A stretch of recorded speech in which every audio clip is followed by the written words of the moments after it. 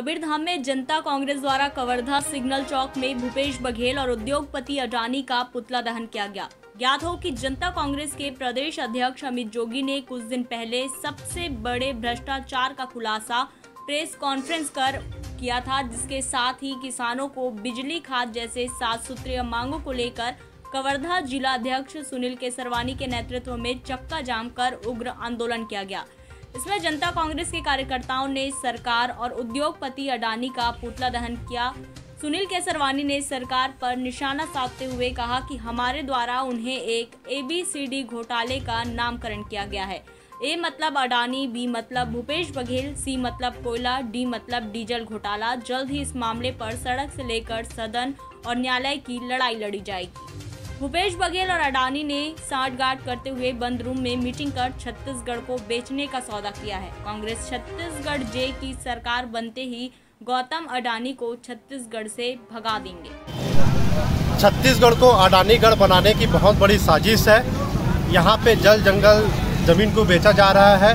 छत्तीसगढ़ में इतिहास का सबसे बड़ा घोटाला ए बी सी डी घोटाला हुआ है, जिसका खुलासा हमारे प्रदेश अध्यक्ष अमित जोगी जी ने किया है। ए का मतलब अडानी बी का मतलब भूपेश बघेल सी का मतलब कोयला डी का मतलब डीजल। कोयला डीजल घोटाला।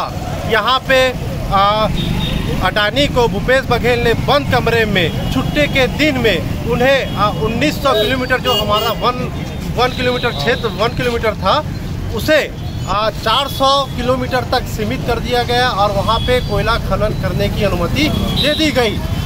एक तरफ़ राहुल गांधी जी आते हैं और वो कहते हैं कि हम अडानी और अडानी और अंबानी के खिलाफ है। उद्योगपतियों को ज़मीन बेचने के खिलाफ है। लेकिन दूसरी ओर, इन्हीं की सरकार, छत्तीसगढ़ की सरकार, भूपेश बघेल की सरकार उद्योगपतियों को ज़मीन बेच रही है। दूसरी ओर, डीजल और पेट्रोल के मामले में देखा जाए तो डीजल और पेट्रोल अंबानी को दो प्रतिशत के टैक्स में दिया जा रहा है। पचपन छप्पन रुपए के रेट में दिया जा रहा है। अडानी पच्चीस हज़ार किलो लीटर डीजल प्रति महीने की खपत बताते हैं, लेकिन वास्तव में सिर्फ़ दस हज़ार किलो लीटर के, की डीजल की खपत है। इस तरह अडानी डीजल और पेट्रोल की भी घोटालेबाजी कर रहा है। सबसे बड़ा भ्रष्टाचार है। अमित जोगी जी ने साफ़ कहा है कि यदि इस पर कार्रवाई नहीं हुई तो जनता कांग्रेस अजीत अमित जोगी जी के नेतृत्व में सड़क से लेके सदन और सदन से लेकर न्यायालय तक की लड़ाई लड़ेगी।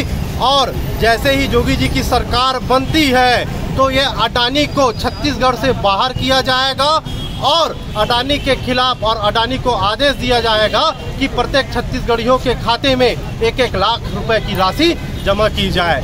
यही जनता कांग्रेस की आज मांग थी। आज हमने अडानी और भूपेश बघेल जी का पुतला दहन सांकेतिक रूप से किया है और परसों हम लोग राज्यपाल के नाम ज्ञापन भी सौंपेंगे।